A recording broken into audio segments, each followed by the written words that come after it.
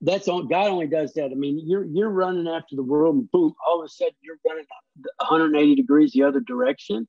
Yeah. So that that miracle of the physical miracle is pretty cool. It really is cool because you can see it. But what's really exciting is the spiritual miracle when someone comes to know Jesus and you get transformed and you have a new heart. You're a new creature. You have new set of of, of perspective of, of, of a worldview